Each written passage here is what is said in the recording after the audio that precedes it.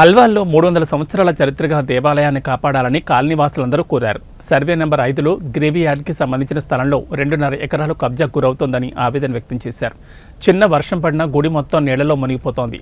మా కాలనీవాసులందరి ఆరాధ్య దైవం నల్లపోచమ్మ గుడిని కాపాడండి అంటూ ఓల్డ్ అల్వాల్లోని హరిజన్ బస్తీకి చెందిన కాలనీవాసులు మున్సిపాలిటీ కమిషనర్ మరియు ఎంఆర్ఓకు ఫిర్యాదు చేశారు. మా గుడిని ఆనుకుని ఉన్న స్థలంలో ఇంటర్నేషనల్ స్కూల్ పేరిట నిర్మాణాలు నిర్మిస్తున్నారని ఆ నిర్మాణాల వల్ల రాబోయే కాలంలో ఎన్నో ఇబ్బందులు జరిగే అవకాశం ఉందని వాపోయారు.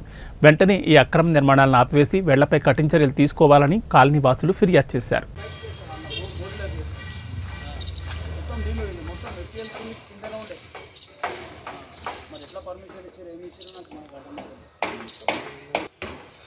ఇప్పుడు నీళ్ళు వస్తప్పుడు దాని వీడియోలు తీసుకోవాలా నీళ్ళు వచ్చినప్పుడు దాన్ని తీసుకోవాలా? ఉన్నాయి. ఆ వీడియోలు నీళ్ళు పెట్టినాయి? వాళ్ళు నీళ్ళు పెట్టి ఇచ్చినాయి.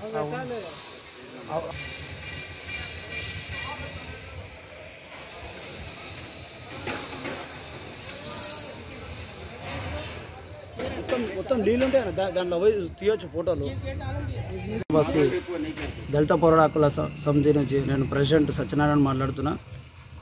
గతంలో నుంచి మా కులదైవ దేవత అమ్మ నల్లపోచమ్మ మరి మొన్న కురిచిన వర్షంకు చాలా అమ్మవారి మొత్తం అమ్మవారి మునిగిపోయేటట్టు వాటర్ రావడం జరిగింది.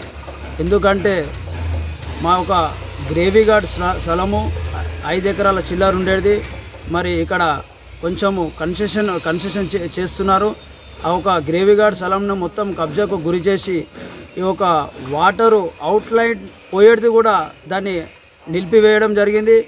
అక్కడ ఇక్కడ గుడి దగ్గర నుంచి వాటర్ పోయేది కూడా మరి అక్కడ ఆపేయడం జరిగింది. అందుకోసమే అమ్మవారు మొత్తం గుడి దగ్గరికి మొత్తం అమ్మవారు మునిగిపోవడం జరిగింది మొన్న మొన్న వర్షానికి. కాబట్టి అందుకోసమే మరి ఎంఆర్ఓ గారికి మరి కమిషనర్ గారికి కంప్లైంట్ చేయడం జరిగింది. ఈ- ఈ యొక్క అక్రమ అక్రమ కట్- కట్టడాలు నిలిపివే నిలిపివేయాలని చెప్పేసి ఎంఆర్ఓ గారికి కమిషనర్ గారికి కంప్లైంట్ చేయడం జరిగింది.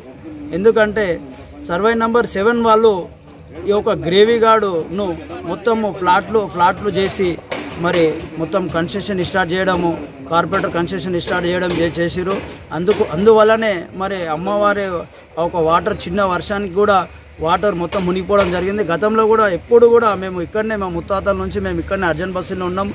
గతంలో కూడా ఎప్పుడు ని- నిండిపోలే. అమ్మవారు ఎప్పుడు మునిగిపోలేదు. మరి చిన్న వర్షాన్ని కూడా మొన్న మొత్తం మునిగిపోవడం జరిగింది. ఈ ఒక అక్రమ కట్టడాలను ఆపివేయ ఆపివేయాల్ వేయాలని మరి కమిషనర్ గారికి ఎంఆర్ గారికి లెటర్ ఇచ్చినాము.